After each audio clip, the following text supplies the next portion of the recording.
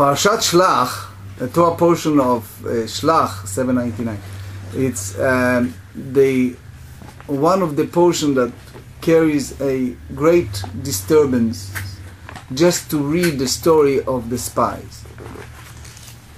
I'm sure that people are familiar with that. Just for the few that not so familiar, it's a ancient story of the leaders of the 12 tribes while the Jewish people were wandering in the desert and they asked to spy out the promised land.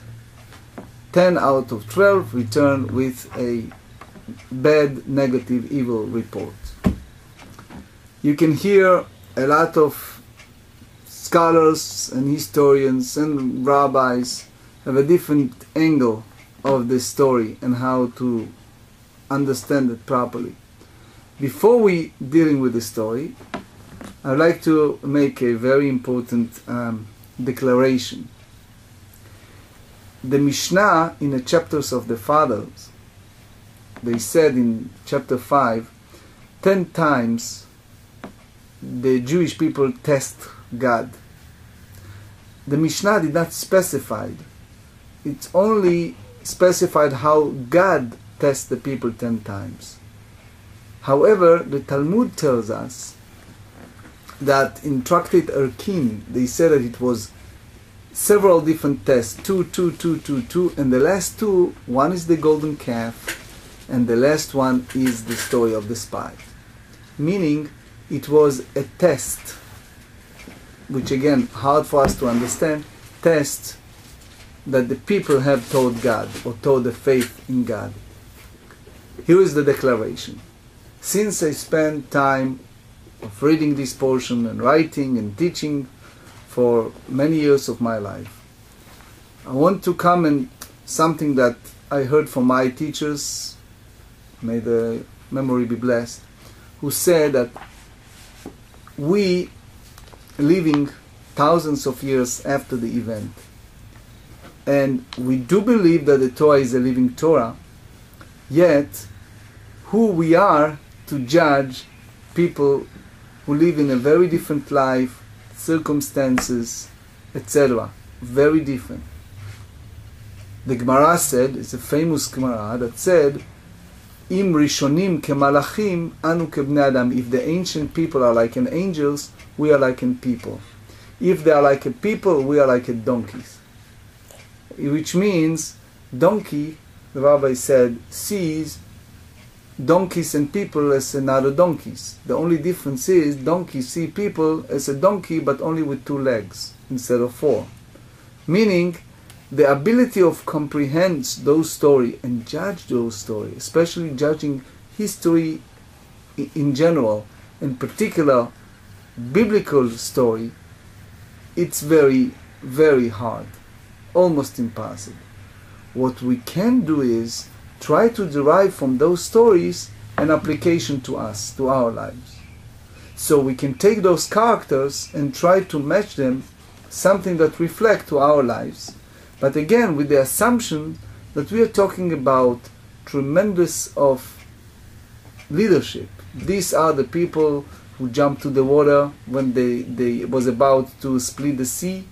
These are the leaders who led the people at the time of desert, the time of crisis.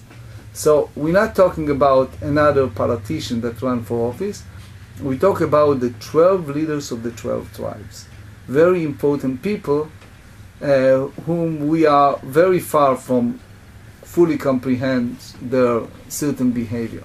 With that in mind, and with a great appreciation to each and every one of them, we can try to judge the narrative in the way that the commentators explain to us, in the way that we understand in our very best. This parsha, the portion of Shlach, is one of the portion to this very day. It's a relevant, applicable portion, and I assume that everyone agree with this statement that the key sin of these spies was the fact that they, we call it in Hebrew, ma'asu be'eretz chemda. It was a promised land God promised, and they rejected what God promised. Meaning, and you hear it from every preacher, almost in every faith group, that said the same thing. If you look at the entire Torah, and you try to find when God called people really use the word evil, it's only here. Why use the word evil? Because they are ungrateful. Look back at the diary. Sea, splitting the sea, manna from heaven, ten plagues, all these great stories which bring us to our own life in a sense when a person is depressed when a person is down the person have those moments of turbulence he or she should look back and write a small diary each and every time of things that happened for them that's really um, not just special but in a way miracle such as I recall the time for example when I was in the great crisis yet God pulled me out of that I, I, I call the time that I get a promotion even I didn't feel I deserve it. I remember the time that God grant me with beautiful child, with beautiful granddaughter, with uh, whatever it is. Every each and every person can find a list of things throughout his or her life that they can say clearly that this is a gift that God gave them, that not even expecting that. So if a person write this list and carry it, for example, you have it next to the mirror in the bathroom, before you go to sleep, you just go over the list. It brings you a different perce- perception. See that it's a great greatness that God did to us. So here we are with this Torah portion, and these people are the leaders, yet is not act any act of gratefulness. In, they, walking through the land that they should trust God. God told them, I'm going to give you a, a, a land, and I, and I, he promised them. So the big point first is Rashi that said the word why God used the word lecha. Send forth man if you. Why if, if you? Because there's no need to send spy. If you trust God, while you left Egypt with nothing, in a sense, only whatever you take over from them, you go to unknown place just because God promised you, and you see splitting the sea, you see manna from heaven. So what's the what's the real story of trusting God for the next step, which is conquer the land? Moses, however, Moshe Rabbeinu, he felt that he wants to ease it on people. Soon you see when we deal with the sentences how we try to ease it up on people. But the whole goal of sending people was in a way question of faith because if you really trust God, so things will work well. But it wasn't fully trust. It's a different views. It's not fully trust of people who requested. It wasn't fully trust of the spies themselves, of Moses. It's a different views what exactly happened. But the, in general term, it's a people that sent to spy out the land and return most of them with bad report. Now, is that true in our times? How they painted the modern Israel? You tell me. Is that true that in our times you see how people view the the Jewish state or the Holy Land or whatever you call it, the modern Israel? How some view it in a negative, some view it positive, and sometimes is in a very unpleasant way. Well, I think in the same way that the the spies and ref, more reflected the what most of the people of Israel felt anyway because of the slave mentality of them, you know, having been in Egypt. They probably didn't have the mental strength and capability of going into the land of Canaan and defeating the Canaanites at that particular point because of because of the slave mentality. In the same way, nowadays, if someone has a you know preconceived view of what they expect to from Israel, they'll find information out there very easily that supports what they have to say. Yes. So they choose to look only at one. Yes, yes. You you mentioned a beautiful word, which is the slave mentality. Hotza'at diba, slandering, um, defaming the character, painting it in a negative way. It's nothing new. Mm-hmm. The only problem here is you're expecting leader to be better. The whole idea of the ten tests the Mishnah mentioned, and they said the last one, in a sense, even worse than the golden calf in that sense, but it's the last one of the least, is the whole idea of sending spies and coming back with such because in every report you can twist. You know, it's Mhm. like preparing budget of a company. You know that the way that you present it can be negative or positive, depend how you play the numbers. It applies to anything that, as in the position of a leadership, you can paint anything you want. You just use the the power of words to to twist it the way that you want the agenda. So, the whole decree that the entire generation died. The Torah said that there is a result of all this crisis we're going to read soon. The entire generation died in the desert was because um, it wasn't because of morech lev because they are weak in the heart. It's because they rejected what God promised them. In a sense, it's rejection of the faith. It's the idea that they don't have this proper um, leadership qualities to go ahead and lead the people with great faith. Now, there are different views. There are some commentators who hold, and you see the applications, that some of them figured out that if they conquer the land, what's going to happen? They will no longer be in the office. They will choose new ones. So some hold that that's the reason why they returned with such a report because they figured out I, we better stay in the desert and be in control of the people. The third Protect of power. job. What? Yes, Protect own job. right? Rather than to, to go and, and lose the, the office. It's like always you hear it, especially this year of campaign, you hear all the times politicians always say that my intent is sincerely for good and welfare of the people and the minutes I'll be elected you will see huge change in power and the policy and how people going to treat it in the taxes and ev- right? That's usually their claim. The reality you can basically count in one hand people really follow what they promise whatever the, the reason is. Many times it's it's a personal problem. Ah, the Mishnah said in in in Pirkei Avot the Mishnah said that hakin'ah the jealousy the lust v'hakavod and the seek of honor and recognition bring a person out of the world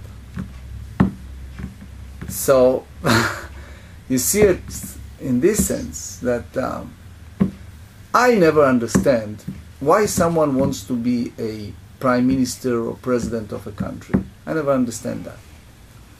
Because if you try to think it log- logically, the abuse that coming in and out, regardless to party you belong to, day in and day out, is not worth it. Yet you see how the Lord provided Meshugas, people who are out of their mind, who not just run for that, who even fight for that, who even exaggerate the truth to, to get to that and bring person out of his world. So the Mishnah said that jealousy, enviness, lust, desire, seeking of honor and recognition can drive a person out of the world.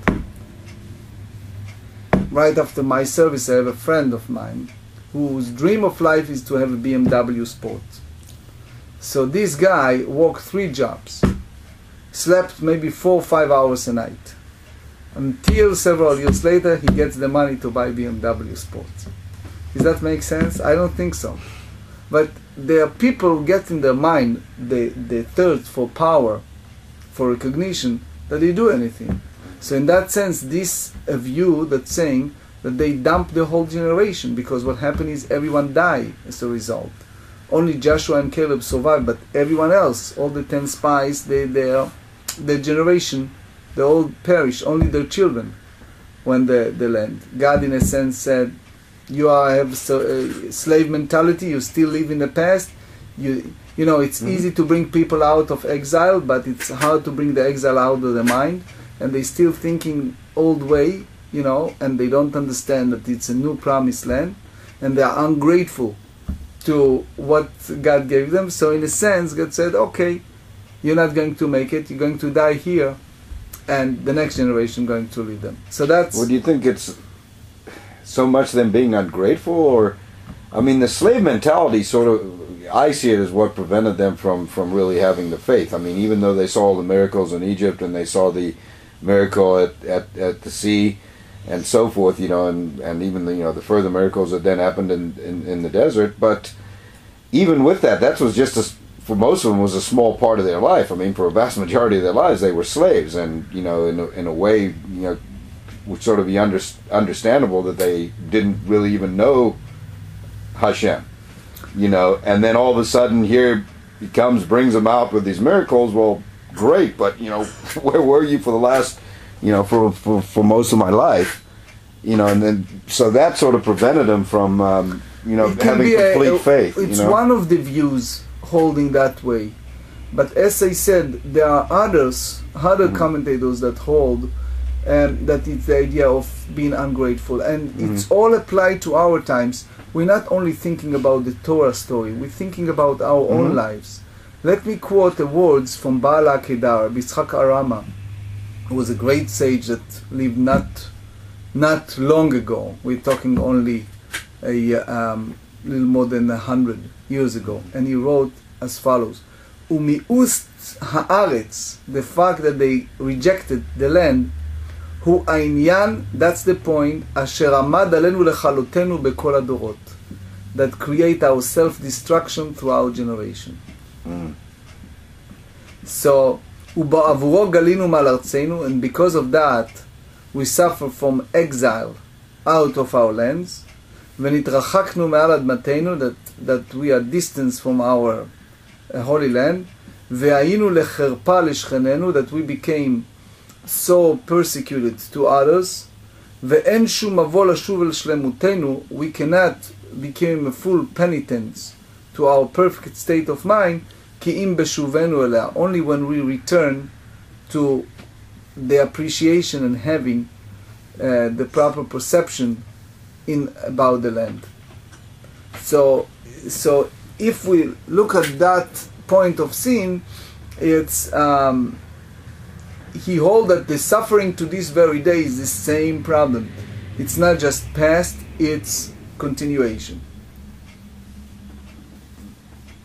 As a side point, while Moshe Rabbeinu begged God not to punish them too severely, he used the 13 attributes.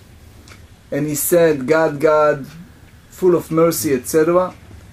And then they used the word, he affected the second and the third generation in punishment. And Rashi in the Talmud explained that that's apply only if the next generation followed the mistakes and the wrongdoing of the grandfather or great grandfather.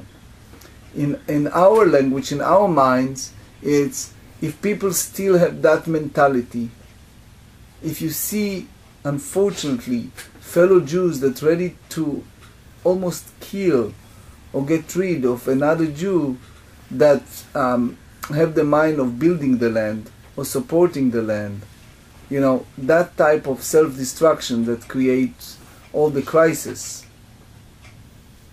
Ramban, Rabbi Moshe ben Nachman, in our parasha, he um, dealt with that very deeply. Point of departure. Nachmanides is one of the rabbis that count the mitzvah of inhabitants the land as one of the 613 mitzvot. So he said, look carefully at the text. Moses asked a question. Vayishlach otam Moshe latu et eretz chapter 13, sentence 17. Moshe Rabbeinu sent them to spy out the land of Canaan, and he said to them, Ascend here in the south and climb the mountain. See the land, how is it? And the people that dwells in it. Is it strong or weak? Is it few or numerous? And how is the land in which it dwells? Is it good or is bad? And how are the cities in which it dwell? Are they open or they are fortified? So what's the purpose of uh, that he asked of all of these questions? He, even they don't respond to all of his questions, he has a very, Moses have a positive approach. How? He basically wants them to create a better understanding. For example, when they're about to conquer the land, he wants them to take the easy path to conquer the land. He wants to know how to get the, the people, especially all those people who are weak, the right time. So um, he did not expect them to come back with perfect answers to every question and everything is rosy. That was not his goal. His goal was that um, he asked questions, strategic questions to help them. Um, Ramban hold that it's not that Moses was in a state of doubt. No, he, he doesn't want their opinion about the land, if it's good. God promised, it's no doubt that it's fine. The only Moses saw it as a scouting mission, not a spying mission. Correct. Yeah. Um, he said, now let me re- read his word. He said, "Mo- משה רצה, Moses want, שישראל יתחילו מיד בפעולת הכיבוש. He wanted the Jewish people to start, the, the Israelite, to start immediately with conquering the land. Right? And because God put upon them this mission, רצה להקל, he wants to assuage, to ease from them this special mission. How? על ידי בדיקת צד התורפה של הארץ. He want to find out the weak point, topographic weak point, the how to get the weak point of the land, and therefore in easy way they can conquer the land. So his purpose of spying out the land, uh, it was not a, uh purpose um, that um, um, um, of lack of trust. He just want to circumnavigate those cities that is a wall city, strong cities. He wants to get to the to the place that it's easy without the big sacrifice of people. And that was his purpose of sending the people. However, the spy ignore his intent. They focus on something else, on the quote unquote quality of the land Right. in one hand they said it's milk and honey, but they have some objections. So let's see what happened. So they went there and they came and they reported 27. They reported to him and said, "We arrive at the land to which you sent us, and indeed it flows with milk and honey and its fruit." So Rashi see, said here something so deep and beautiful. I love this Rashi. Rashi said in 27, Eretz Zavat Chalav Rashi, it's a land of milk and honey. Kol Dvar Sheker, any lie, any time someone wants to say a, a untruthful statement, שאין אומרים בו קצת אמת בתחילתו, אין מתקיים בסופו. How do you convince people over lie? If you start with some truth, and then in our language you exaggerate the truth, then people most probably going to believe you because you start with something that is truthful. So these spies, they start with a statement, oh yeah, it's a land of milk and honey, right? Mm-hmm. But they use the word Ephes, 28. What is the word Ephes? So let's dwell a little bit on that word. Ephes in Hebrew, in a simple way, it's a number zero. Zero in Hebrew, it's Ephes. Mm-hmm. Here they translate it as a bat. The minute you use the word bat, is a basically contrary point. In simple way, it's a milk and honey, but here are the problems involved. So what's the issue with these spies? You can take it in many different angles, and I try to combine the commentators. Some hold that all these reports will not go public. They're supposed to report to Moses, period. They make it public. That was their sins. Hmm. Some hold that the report presented in a negative way. But the key point is they add their personal opinion, their personal understanding. So again, is that wrong? Some rabbis said, like if you read the commentary of fascinating commentary of the Malbim, Malbim was the Rabbi uh, Mordechai Leibush, who was a student of my great grandfather, the great Zidichover Rabbi. So Malbim exp- uh, asked that question: What exactly involved here? Why? Why um, they are truthful. They gave the point of view. So what's wrong with giving the point of Because view? Moshe Rabbeinu didn't ask for their point of view. He asked for information about the about the land. He wanted Correct. But you can say, oh, they're truthful. They, they give their view. You don't have to agree with them. That's democracy. They can give their view, and that's it, right? that wasn't the job. Exactly. they are on a specific mission right. to spy out the land in order for people to enter in the easiest way. Period. That's their point. But they came back in a, such a report mm-hmm. that twisted everything. They said things that they wasn't asked to. They said it publicly, and they basically they took away all the morals of people. And they didn't to give the information that they were supposed to give. On the top, they didn't give the proper information, Yeah. but their objections. Now, the Torah used the word Ephes. So the minute you use Ephes, it's like no way we can conquer the land. Um, I'll That's give you an example. stronger than Yeah, in a way, it's like it's like um, it's like saying in But they rebel against God. Yeah, but it's a stronger use than Aval would. much stronger Yeah, okay. much stronger than Aval because they basically they, they, they rebel against God so um, one they say that oh guess what we see there it was a, a we saw a, a Nephilim a giant people. We saw the all kind of of um, of things that uh, uh, scared us. They saw funerals. So the commentator said the reason they saw those funerals was because God prepared on purpose to have funerals at that time so people not pay attention to the spy. But they took it in a negative way. Another way to look at that is they just when they soon they start saying negative things, they go so bad and so nasty that and it's rebel. Because when, when they the other two talked to them and said, Ach ba Hashem al timrodu, do not rebel against God, when they use that language, it means that God is is the one who in charge for the war. God is stand on the front before the, the, the people. And if you fear so much and you say they are stronger than us, it means guess what you're saying? You underline and undermining God's power. Because if you say that these giant are stronger than us, you indirectly undermine the God's power. Because if God is above the nature, and if God is supernatural power that can change all the nature, right? And the way that they describe places was a very, in, in a very, uh, in exaggerate way.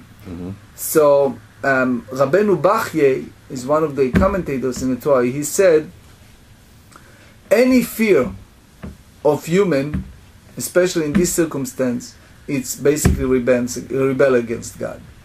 Because um, if you look at the story of, of Samuel and Saul, just an example in the book of uh, um, of uh, um, uh, Samuel, the first Samuel, chapter 15.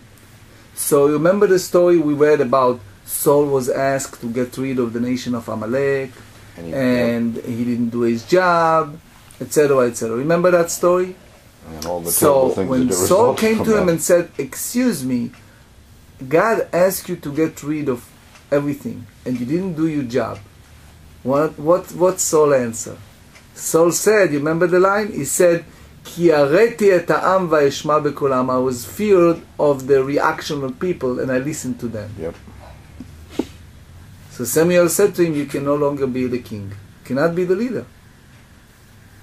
Because it's good to be sympathetic to people, it's good to listen to them and hear them, but since you get a clear order what to do and how to do, what type of business is this that you're afraid of people's reaction? Um, it's basically the, the Talmud, if you read in the Brachot 62, we just studied recently, they speak about situation that when you have some type of fear of people, it's a you have to ask the whole issue of faith in God, in in in the sense of of what is right. So the minute used the word Ephes, it's like saying, "Come on, we cannot conquer this land." So they, they doubt the, the the ability of God that that um, that He can do it. So in a sense, if you hear that from a leader, if you read this type of statement from a leader, so what are you expecting from people? You know, if leaders said such a thing, so um, now, with your permission, I just want two minutes to read a little Zohar. Hmm? Zohar, I know it's Kabbalah, but it's just a point from the Zohar because he deal with the word Ephes. It's, It's- Aramaic. It's so interesting because I mean it's a perfect example of a word that you know essentially just can't be translated directly into English. And No, again, it's a not. good example It's like of how translating the word studying. Torah you just can't Not do it always, yeah. without the Hebrew. You know, you miss so much. I mean, it's amazing. But The Holy Zohar said as follows in regard to the word Ephes. He said, Amar Rabbi Yossi, Rabbi Yossi said, Ita, I read the whole sentence, then I explain. Ita nasivu al kula la'apukei shem bish. Mai al kula al ar'a ve'al kudsha brichu. Which means they basically defame and badmouth the land and God, both. Amar Rabbi Yitzchak, Rabbi Yitzchak responded to Rabbi Yossi and said to him, Al ar'a tenach. If you tell me that they said something bad about the land, I agree with you. Al shabrichu menayin. How do you prove that they said something bad about God? Amar lei, Rabbi Yossi responded to Rabbi Yitzchak and he said, Mashma dichtiv, because it's written Ephes, they use the word bat, ki az ha'am me'om yachol bo, which means the minute they say that they, the nation are very strong and they are giant and everything, it's basically um, disregarding God, rebelling against God. So again, there are different school of thought. Baal HaAkeidah, Rabbi Yitzchak Arama, say that it's not absolute negative statement, the word Ephes. It's just like some type of advice that they're giving to Moses, that they don't have the authority. the concept you mentioned before that they rejected the land, I think, is something also that's very important to remember. I mean, you had this gift, and you know, just not accepting a gift, you know, such. I mean, is is a incredible slight. I mean, it's incredibly disrespectful to someone to not accept a gift, you know, that they give Right, you. right. So, I mean, the whole purpose. yeah. Rav Kook, the first Rav Kook, was a giant scholar. Mhm. He dealt with that a lot in his uh, writings. So in one of his writings, he wrote in Orot, it's a, like lights, one of his books. He explained that it's like three legs. Mhm. Torah Israel, the Torah, Am Israel, the nation, Eretz Israel, the land. It's all Israel. Torah Israel, Am Israel, mm-hmm. Eretz Israel. The Torah, the nation, the land. It's all three legs, that it's all connected to each other. God took out the Jewish people from Egypt because they're about to receive the Torah. Mm-hmm. If it wasn't acceptance of the Torah, there is no reason to take them out of slavery. Point One. Upon receiving the Torah, they become a nation. But the completion of a nation became when they had the conquer the land and have the land. And those three entities is the core, Rav Kook said, of survival of the Jewish people. To understand that these three legs are connected to each other and they are part of entities. That it's what is the the Jewish people is all about. and so without any one of them, you can't. the Rav doesn't hold that if you Yeah, it miss one of them, then you're missing the point. Yes, yes, yes. And one of the things that it's always very disturbed, and I'm not taking any political side or anything like that in the modern Israel, but the whole point of getting a gift from God, and God said, "It's your land, but it's my land." And they use the word "my land" in the Torah. That God used that word. It's my land. Then, in a way, imagine if I give you a gift Hmm? and you take that gift and you give it away to someone, especially someone that I don't like, Mm-hmm. right? So it's like slapping in the face, right? Right. Is uh, it's more than just not accepting the gift. Um, It's incredibly they, insulting. they, I mean, yes, yes, they sent out to be the emissary to spy out the land, and what happened is they became counselor, like advisor. They put themselves instead of God and Moses Um, um, it's like I ask you, go ahead and check uh, some suit for me, right? Um, and and um, uh, and you go and check just uh, just uh, the suit, and then you basically um, do everything else, and and then you bring it back to me in a sense, um, something that's not befitting what I need. So the point is, you don't ask for advice. You ask just very clearly to go and check the land, and and um, they did something very wrong in all of their report. It was a rebel against the Torah. It is a rebel against God. It was rebellious against nations. It's a le- there are many different ways that you interpret it. But the worst part is that they are majority. In the 12 leaders, 10 out of 12 say something. And it's again, it's another lesson we can learn that the majority is not always the right one. Sometimes a person needs to follow his heart because sometimes the majority are not right.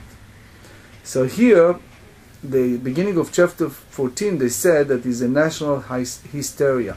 People get out of their mind because they're stuck in a desert and they thought that they're about to die.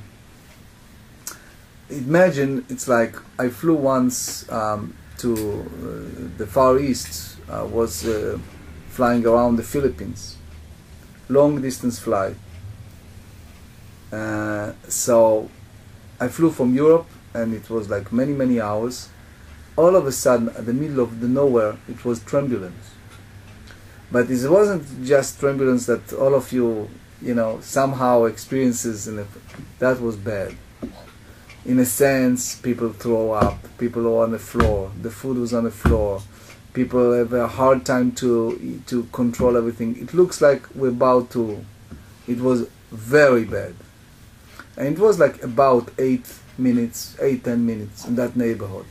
But looks like million years, you know, and you think that this is the time to do Vidu Yom Shema because it's a matter of minutes that it's over. Hmm. And then all of a sudden, everything went fine. And everything went ba- back, and they clean up everything, they set up, they take off the, the, the seat belt, and everything is lovely. Right? So, in the sense, it was those moments that it was a um, great test of the people. And in a sense, God was standing there and wants to see the reaction. Imagine it's like we all went to school, and when it's the time of the test, what's, what's really happened? The teacher, he or she, is sitting at the front desk, and they keep quiet. They usually do nothing, right? and they're just sitting and watching. Now, they taught the students, they know what they taught them, right? They knew that the students were well prepared. They're now just sitting and watching. God is the teacher of the world. So he basically gave all the instructions properly to Moses, to people, all they get all the instructions. What happened now? He's just sitting and watching. It's not that God ignore a situation. Mm-hmm. He's just watching to see what exactly the students does. Unfortunately, in this situation, chapter 14, the entire assembly raised up and issue its voice. The people wept that night. So it's a unbelievable, very um, painful, painful, painful um, text in the uh, rabbinic writing that said that um, the tragedy of their delusion it was a uh, very far away uh, consequences when people were up that night. So it's a famous uh, um, statement the rabbi said, and I quote here: "They indulge in weeping without a cause." God said. God declared, because they indulge in weeping without a cause, I'll establish this night for them at the time of weeping throughout the generations. And according to Rashi in Tehillim 106, he said that night was Tisha B'Av, the nine of Av, the date where both temples were destroyed, and many other tragedies took place throughout Jewish history. Like, for example, World War One, the expulsion of the Jews from Spain, 1490, uh, for, what is it, 1492, right? Um, destruction of the temples. Uh, the, destruction of both temples. There's a lot of things. Expulsion of Jews from England. It's a lot of things happen. There's a book by Rabbi Genut, excellent book. It's called Luach Davar uh, Beito, which give you every day expansion of Jewish history by daily. It's a big book. Mhm. So in that book, on Tisha B'Av, it gives you a long list of sequence events from the ancient time to our time, things that happen on Tisha B'Av. You can't say by coincidence, especially when it's at two temples, distance of 490 years between them. Mhm. One temple is for 410, another temple is 420, in between 70 years. So it's a distance of 490 years, yet the same day of the destruction. It cannot be by coincidence. And it's only two temples the Jewish people have throughout the history. But that's not the only thing. So Right, it's many, many more. So many things. Many more. So the whole idea is you guys are weeping for no reason, you're crying for no reason, you are ungrateful. I'll give you a real reason to cry, in a sense. So all the children murmured against God and Moses, and Moses against Moses and Aaron. And the entire assembly said to them, Oh, if we had died in the land of Egypt, if only we had died in the wilderness. Why is God bringing us to this land to die by sword? And then they said, it, it, it is not better for us to return to Egypt. And then they said, let's, uh, appoint the leader and return to Egypt. That happens So- every time they reached, came across anything tough. they wanted to go back to Egypt. Go- go to Egypt. So that's a slave mentality. You know, we brought out here to die from thirst. We brought out here to die from by the sword. We brought out here to, you know, just. There are people, unfortunately, Yep. keep saying it, that it's it's easy to bring people out of exile, hmm but in some people it's hard to bring the exile out of their minds.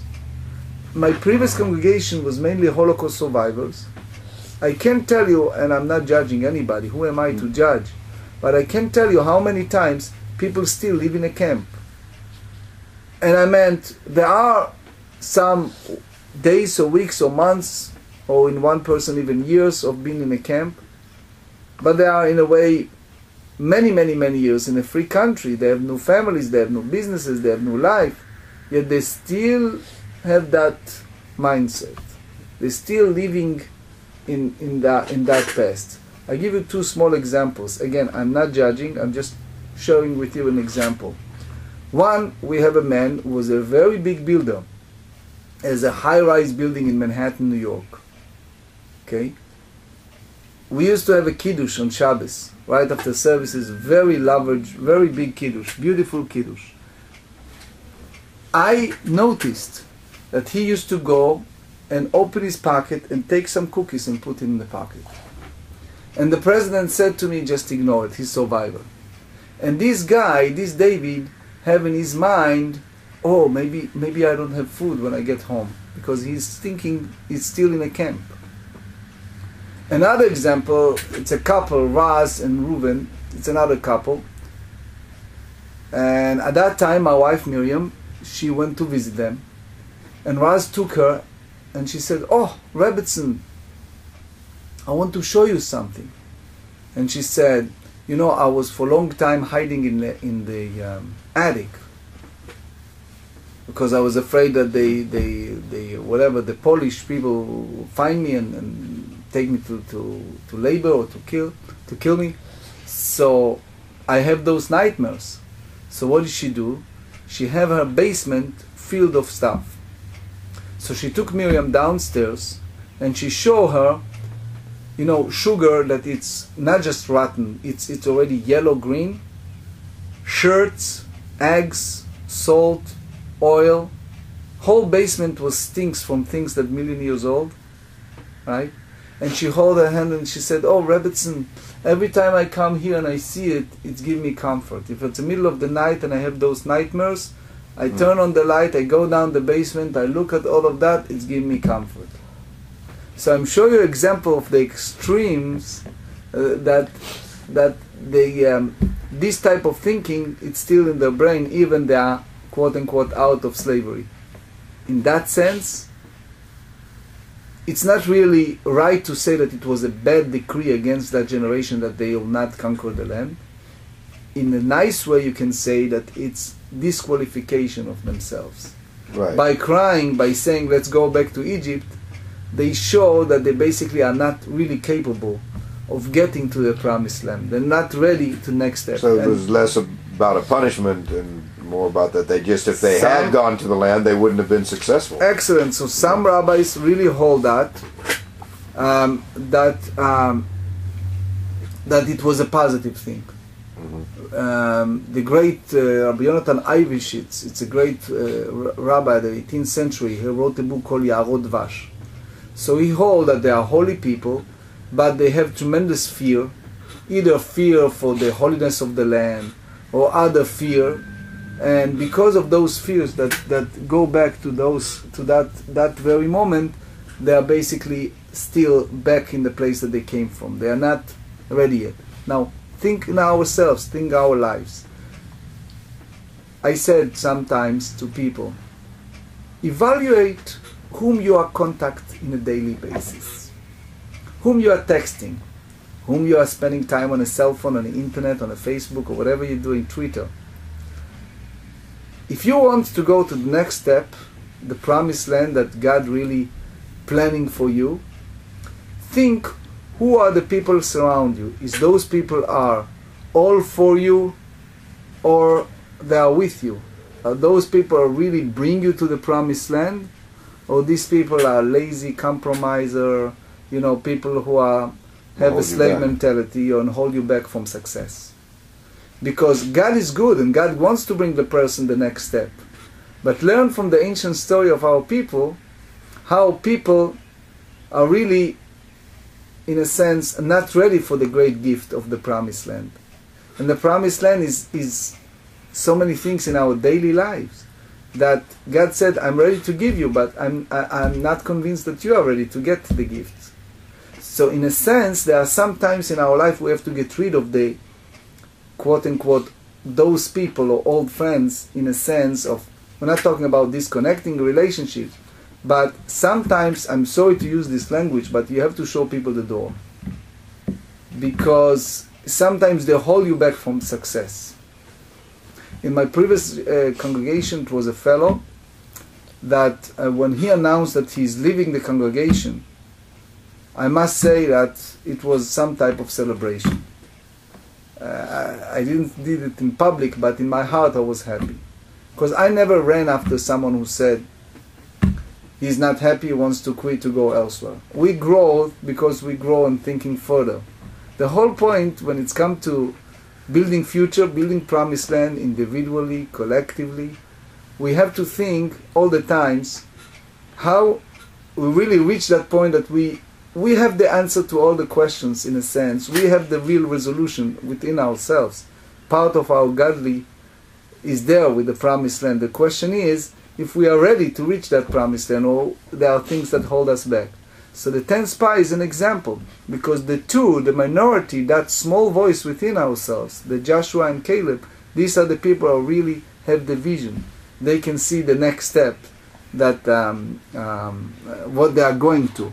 Yoshua bin Nuv, sentence 6, Kalev ben Yefune, Yeshua bin Nuv, and it's only these people, they spied the land, they tore the garments. Tore the garments is always sign of mourning, but mm-hmm. it's basically they saw what's coming. Right.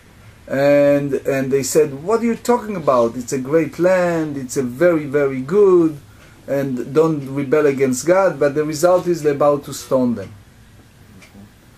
And you tell me if that's not applicable to our times in a sense of our nation, of our land, of our Torah. Sometimes those minority, or even within our own world, small world, there are small voices that tell us the truth, and we just have to follow that, that truth. And sometimes it's against all the all the odds around us. So you see, the application of this is um, is not just the history of the people, it's so much relate to our times. That we have those tremendous constant challenges of all kind of people and situations, turbulence that can tear us apart. And we have always the choice to either undergo this turbulence and know that there is God most high that have the promised land for us, or to be in a state of slavery and then a person can never be out of crisis. And that's something that we should take to our heart in our personal life, how we should full, feel, full, uh, follow, I'm sorry, follow the inner voice of Joshua and Caleb. And when we follow that voice, that brings us to the promised land. Thank you.